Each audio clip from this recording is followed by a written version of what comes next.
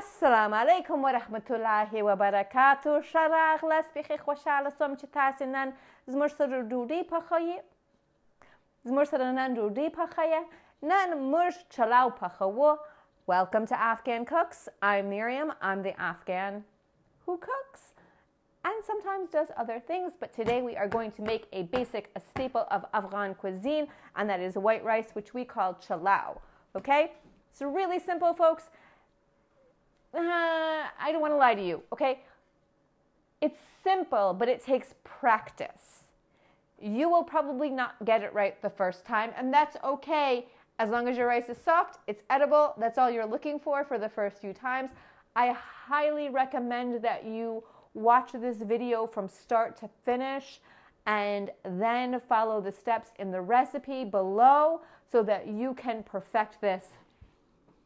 This rice is unlike any you will have ever had before. It's a very unique way of cooking, and the smell is just spectacular.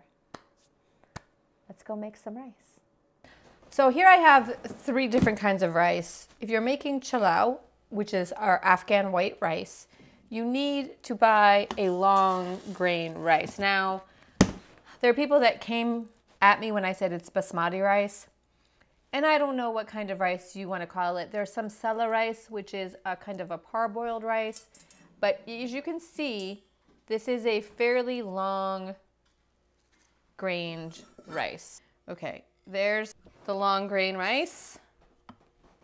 Not jasmine rice, okay? Jasmine rice is wonderful, but it has a very different kind of uh, smell, okay? And that's not what we use. This is a short grain rice, which you use for things like shola or uh, rice pudding. And this is arborio rice, which is a beautiful, very starchy rice that you use for risotto. You can also use it for shola. It works wonderfully and for rice pudding. The way that it's measured is, I think they say a half a cup of dry rice for every person. Okay, that's a serving. Maybe it's a quarter cup. I don't know we are going to do a lot more than half a cup or a quarter cup per person, okay? We're going to do four cups of rice, which is about eight servings. And when I was growing up, we never had like a measuring cup. It was just a pela or glass, uh, which means glass or cup, right? Just anything that you have, which is similar to a cup. Actually, I'm gonna do five, okay? And now what we're gonna do is we have to rinse this. All right, so come over to the sink with me and we will rinse the rice.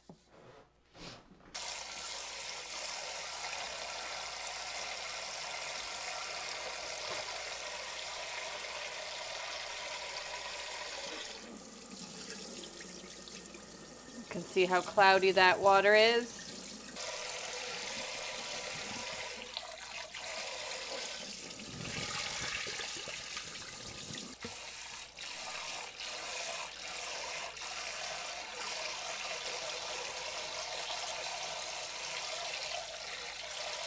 And you can see the water is much clearer than it was when we first started this whole process. When you're done with your final rinse, you leave the water in it because now we're going to soak it. Come on, let's go back. We're going to leave this anywhere from 30 minutes to four hours. If you only have 30 minutes, my suggestion to you is add warm water or hot water to this because you want the individual rice grains to soak up some of that water and get a little bit plump. So you're almost pre-cooking it sort of even before it goes in the boiling water. And that's the interesting thing, folks, when we come back later on, we are actually going to cook at least the first part of this in boiling water and we're gonna cook it like pasta. So it's kind of a neat way to make rice.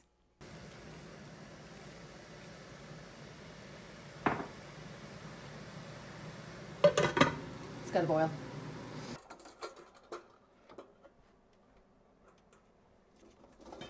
Which one of my very many colanders should we pick? This is my favorite one. Okay, I'm going to strain off some of this water real quick. These spoons, spatulas are super handy. As you can see, I have a bunch of them here. We're gonna add all of this. And that is just going to boil for between five and seven minutes. We only want the grains of sand, the grains of sand.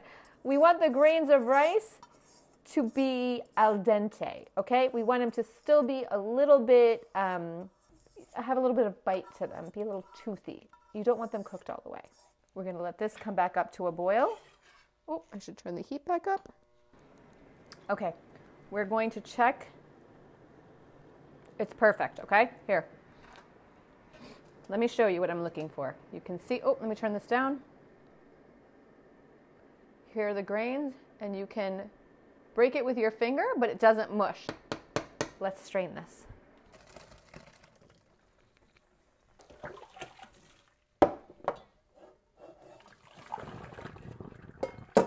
Now, what we're going to do is we're going to go back over to our pot, some oil, just some vegetable oil. And in this pot here, I'm going to add a little bit of water. It's about a half a cup, some oil, about a tablespoon. I'm just going to add a little bit of cumin seed.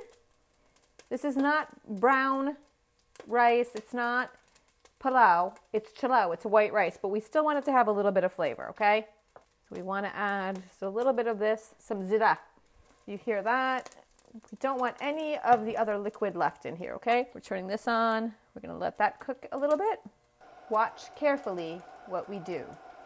It's not that serious. I just wanted to make it seem like it was much more serious than it is. I need a towel. I need aluminum foil. We're to add the rice back in here. We're to turn this down low. And we're going to take this mixture that we made here and pour it over the top. Now what we want to do is because this is going to steam, we want to make some areas where the steam can come from the bottom, okay? So you have to make a couple of little holes, all right? Some areas where the steam can come out. The first thing we do is we take our aluminum foil and we cover the pot. Make sure it is on there very tight. Maybe the first couple of times you make this, you know, I'm going to take this and I'm going to tie it to the top. This makes sure. I actually think that this is just sort of traditional from the times before we used uh, the the aluminum foil. This is how the the pot would sit, and then the steam would go up, and it would get captured into the towel, and that was a very good way of doing it because then the steam would get absorbed into the towel.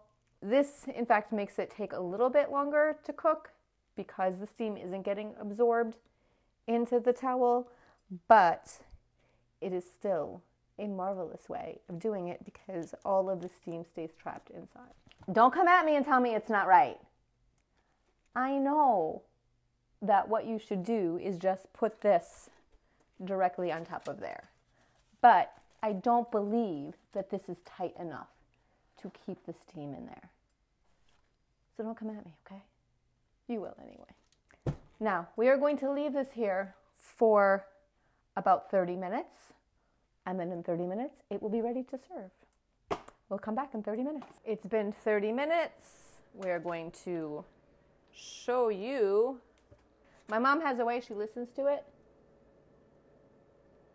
And if you can hear it click, it's cooked.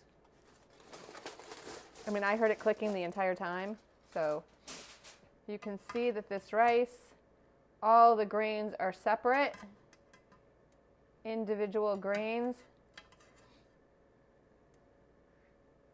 Ah, look at that. So simple. Five minutes of washing, seven minutes of boiling, and that's pretty much the extent of what you have to do. So it's a really easy dish.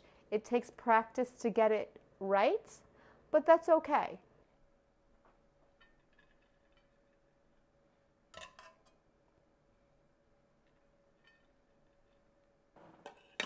And there you have it.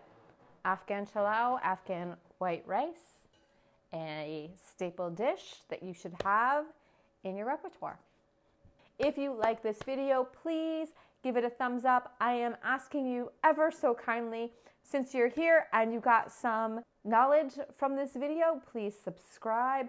Hit the bell notification icon so that you'll know every time we have a new video that's uploaded. It's at least once a week. Um, and leave a comment. I love to hear what you all have to say. I especially love it when you make a recipe and it works. It makes me so, so happy. Until next time, peace to you. Bye.